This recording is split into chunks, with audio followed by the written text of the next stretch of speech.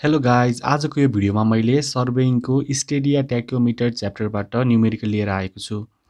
Question रहेको छ a tacheometer was set up at station A and the following readings were observed calculate the original distance between stations and RL of B when the instrument constant is hundred भनेर यसरी दियो। Table दियो। Instrument चाहिँ कहाँ set गरेको छ? एमा छ ए पोइन्टमा। स्टाफ पोइन्ट भनेको चाहिँ हाम्रो बेन्च मार्कमा र पोइन्ट बीमा भयो। त्यसै गरी इन्स्ट्रुमेन्ट स्टेसन एबाट बेन्च मार्कमा हेर्दा भर्टिकल एङ्गल भनेको हाम्रो minus five degree thirty minute भनेपछि डाउन भयो है यो। लाइन अफ कोलिमेसनभन्दा डाउन भयो। त्यसै गरी अर्को भनेको हाम्रो स्टाफ पोइन्ट बीमा हेर्दाखेरि चाहिँ के हुन्छ त? Plus eight degree thirty minute छ। भर्टिकल एङ्गल दियो भनेको। लाइन अफ कोलिमेसनभन्दा माथि भयो है। एउटा इलिभेसन भयो भनौँ एउटा डिप्रेसन जस्तो भयो भनौँ न। अनि यसपछि अब आरएल अफ बेन्च मार्क भनेर five hundred point five zero metre दिएको छ। यहाँ हामीलाई स्टाफ रिडिङहरू पनि दिएको छ हेर्नुहोस् है दुइटै। अब यसको फिगर चाहिँ कस्तो बन्छ भन्दाखेरि यहाँ हेर्नु यस्तो बन्छ। एमा छ इन्स्ट्रुमेन्ट भइहाल्यो। एमा पोइन्ट एमा बीमा स्टाफ स्टेसन भइहाल्यो। त्यसै गरी बेन्च मार्क अर्को यता राइट साइडमा भइहाल्यो। यिनीहरूको तिनटैको स्टाफ रिडिङ मैले देखाएको छु। यो डट डट लाइनले जुन देखाइएको छ यो चाहिँ के हो त हाम्रो? लाइन अफ कोलिमिसन अनि यो भी वान र भी टू चाहिँ के हो भन्दाखेरि भी वान भनेको चाहिँ हाम्रो लाइन अफ कोलिमेसनदेखि मिडल रिडिङसम्मको डिस्टेन्स है लाइन अफ कोलिमेसनदेखि मिडल रिडिङसम्मको डिस्टेन्स भी वान भनेको एदेखि एबाट बीमा हेर्दा भइहाल्यो अनि भी टू भनेको चाहिँ एबाट बेन्च मार्कमा हेर्दाखेरि भइहाल्यो। अब सुरुमा हामी होरिजिन्टल डिस्टेन्स फाइन गरौँ। डिस्टेन्स बिट्विन स्टेसन्स है। Horizontal distance between instrument station A and station B एदेखि बीसम्मको ओरिजिनल डिस्टेन्स हेर्नु है। इन्स्ट्रुमेन्ट स्टेसन एदेखि बीसम्मको डिस्टेन्स भनेको हाम्रो के हो त? Formula K S cos square theta plus C cos theta हुन्छ। अनि यसपछि अब के भनेको हामीलाई कति दिएको छ? इन्स्ट्रुमेन्ट कन्सट्यान्ट हन्ड्रेड दिएको छ। इन्टु अब एस भनेको हाम्रो के हो त? स्टाफ इन्टरसेप्ट यो भनेको top reading minus bottom reading top reading minus bottom reading two point two five zero minus zero point seven five zero गर्नु पऱ्यो अनि कस स्क्वायर अब ठिटा भनेको हाम्रो के हो त? Vertical angle eight degree thirty minute है। अनि प्लस सी कसिटा मैले लेखिनँ किनभने सीको भ्यालु चाहिँ हाम्रो के हुन्छ? जिरो हुन्छ। यसलाई सल्भ गर्दाखेरि हाम्रो कति आउँछ त? One forty six point seven two three metre आउँछ।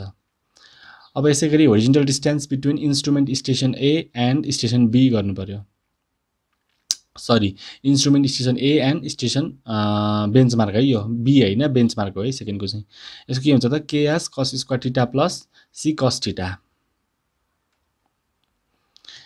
अनि के भनेको हन्ड्रेड भइहाल्यो? एस भने स्टाफ इन्टरसेप्ट भनेको हाम्रो बेन्च मार्कको हेर्नु त कति छ? Two point four five zero minus one point one five zero cos square अनि ठिटा भनेको हाम्रो फाइभ डिग्री थर्टी मिनट यसलाई सल्भ गर्दाखेरि हाम्रो one twenty eight point eight zero six metre आउँछ। ए टु बी पनि भयो ए टु बेन्च मार्क पनि भयो। अब भनेको हाम्रो डिस्टेन्स बिट्विन स्टेसन्स भनेको हाम्रो कति हुन्छ त? अब distance between original distance between stations भनेको हाम्रो one forty six point seven two three plus one twenty eight point eight zero six गरिदिने। यसो गर्दाखेरि two seventy five point five two nine meter आउँछ।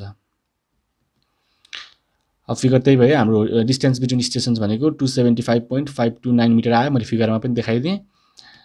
अब यसपछि हामीले अब के निकाल्नु पर्छ भन्दाखेरि हामीले आरएल अफ के निकाल्नु पऱ्यो पोइन्ट बी निकाल्नु पऱ्यो यसको लागि अब सुरुमा हामीले भी टूको भ्यालु फाइन गरौँ। भी भनेको के हो त? Vertical distance between middle wire and line of collimation है। Line of collimation V formula के छ त? KS sine two theta divide by two plus C sine theta अब भ्यालु पुट गरौँ। के भनेको हन्ड्रेड यस भनेको के हो त हाम्रो? Staff intercept two point two five sorry V two है two point four five zero minus one point one five zero हुन्छ अनि साइन टू इन्टु ठिटा भनेको हाम्रो के हो त? फाइभ डिग्री थर्टी मिनट अनि डिभाइड बाई टू भइहाल्यो।